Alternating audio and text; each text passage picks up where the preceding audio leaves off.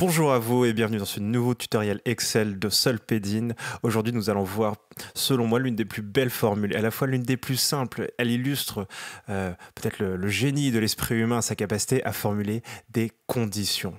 Si tu es sage cette année, le Père Noël viendra t'offrir un cadeau. Si tu mets ta dent sous l'oreiller, la petite souris passera te donner de la monnaie. Combien de conditions avons-nous entendues dans nos vies? C'est un outil fait d'une puissance et d'une simplicité que je trouve folle. Si vous n'avez jamais fait de développement, enfin j'entends par là du code informatique dans votre vie, vous seriez surpris de savoir tout ce que l'on peut bâtir avec des fonctions si et avec des conditions. Et Excel n'y échappe pas. Excel a le droit à sa fonction si. Alors aujourd'hui nous allons voir deux choses. Nous allons voir comment utiliser une fonction si simple, c'est-à-dire une condition, et après on va voir comment est-ce qu'on peut tester plusieurs conditions qui ne s'excluent pas mutuellement avec des fonctions si, plusieurs en l'occurrence, c'est ce qu'on appelle des si imbriqués. Alors, dans ce petit tableau, j'ai une liste de personnes, des hommes, des femmes, ainsi que leur âge. Tout ça, je l'ai généré aléatoirement. Et je voudrais savoir, dans cette liste, qui est un homme majeur. J'ai donc deux conditions. Alors, on va commencer simple. On va juste commencer par tester qui est un homme. Et pour cela, rien de plus simple. Je fais égal, comme toujours, c'est le caractère clé pour démarrer une formule. J'écris ici, j'ouvre la parenthèse, et là, Excel a besoin de trois choses. D'un test, de savoir ce qu'il se passe si le test est vrai, autrement dit si la condition est respectée, et de savoir ce qu'il se passe si le test est faux, si la condition requise n'est pas respectée. Alors pour tester du texte, rien de plus simple, on va utiliser le symbole égal et on va utiliser des guillemets pour signifier à Excel que ce que l'on cherche à tester, c'est une chaîne de caractères. Je m'explique tout de suite par une illustration. Je veux savoir si la première personne, Anthony, est un homme. Je vais donc regarder si l'info qui lui correspond, qui est dans la cellule D5, est homme. Donc je vais écrire homme avec la même casse, H majuscule et le tout en minuscule, et entre des guillemets. Guillemets ouvrantes, guillemets fermantes. Voilà. Et ensuite, je vais dire Excel, si cette condition est respectée, point virgule, alors je veux dire oui, point d'exclamation, c'est un homme. Et je ferme mes guillemets. Enfin, je mets un point virgule et je lui dis ce qu'il se passe si la condition n'est pas respectée. Et je vais dire non, c'est une femme. Et je ferme mes guillemets. Je ferme ma parenthèse. On voit bien la structure du si. Trois choses. Un test. Ce qu'il se passe si le test est bon. Ce qu'il se passe si le test est faux. Je fais entrer.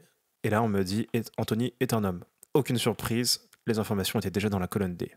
Je vais ensuite double-cliquer sur la petite poignée, là, au niveau de la cellule où j'ai déjà écrit ma formule. Excel va m'étirer cette formule jusqu'en bas de mon tableau et va me dire pour chaque personne si c'est un homme ou c'est une femme.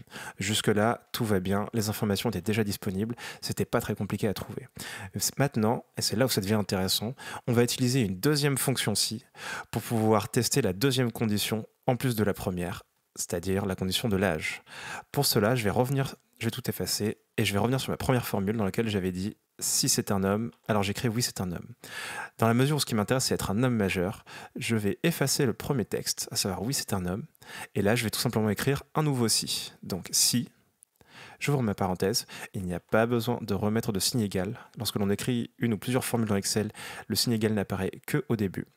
Donc, je vais remettre un deuxième si et je vais dire à Excel, à ce moment-là, on va tester son âge. Alors, son âge est dans la cellule E5. Là, il se trouve que c'est sous notre texte, on ne le voit pas, donc je vais juste écrire E5. Donc, si l'âge d'Anthony est supérieur à 18, alors, point virgule, j'ouvre mes guillemets et je dis, c'est un homme majeur. Point virgule. Et je vais m'arrêter ici. En effet, lorsque l'on écrit un si pour Excel, on n'est pas obligé d'écrire ce qu'il se passe si les conditions respectées ou pas. Excel, par défaut, va renvoyer des vrais ou des faux. Euh, dans la mesure où, euh, si c'est un homme mais qu'il est mineur, ou en tout cas que son âge est inférieur à 18, ça ne m'intéresse pas. Je vais fermer la parenthèse ici, pas besoin de mettre du texte supplémentaire. D'ailleurs, petite précision, en fait, ce qui m'intéresse, c'est de savoir si la personne a un âge supérieur ou égal à 18. Donc, mon symbole égal, je vais le rajouter là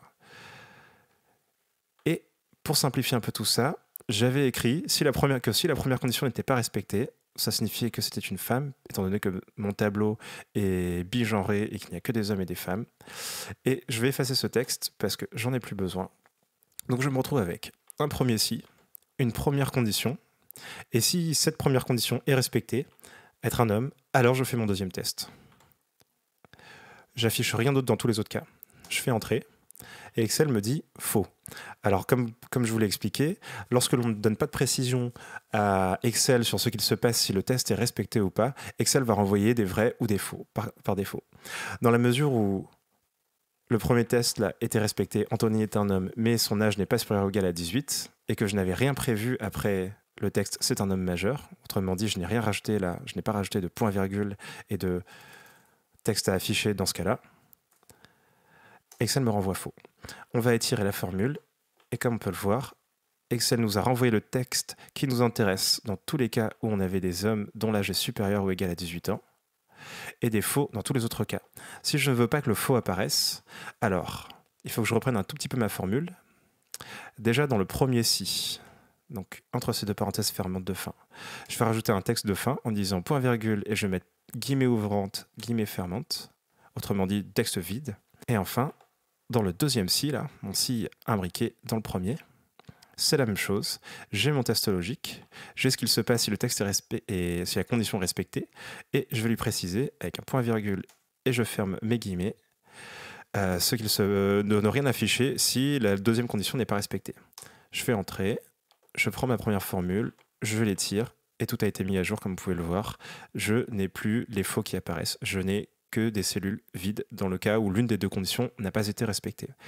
Alors, dans ce slide, je vous affiche les principaux opérateurs que l'on peut utiliser pour les tests logiques. Ils, viennent essentiellement des mathématiques, enfin ils viennent même tous des mathématiques. Vous remarquerez juste deux choses. Tout d'abord que le signe égal peut être utilisé pour du texte, et lorsque l'on veut tester une, égalité avec un texte, autrement dit si l'on veut savoir si une cellule a le même texte que celui défini, la deuxième chose, c'est que lorsqu'on veut tester du texte, il faut utiliser des guillemets au début et à la fin de la chaîne de caractères que l'on souhaite. Première précision importante. Deuxième précision importante, le signe différent de, pour Excel, ils ont fait le choix d'utiliser le symbole inférieur et égal en même temps. Et là encore, le symbole différent de fonctionne pour du texte comme pour des nombres. Je vous souhaite bon courage avec ce nouvel outil dans votre arsenal et je vous dis à très bientôt pour une nouvelle vidéo.